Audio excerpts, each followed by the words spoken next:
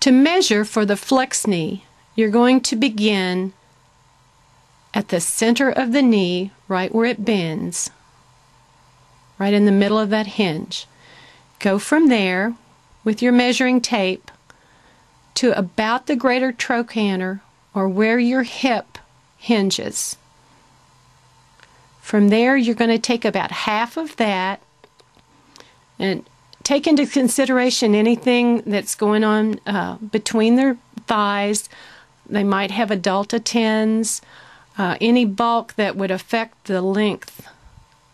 But measure the circumference at that area.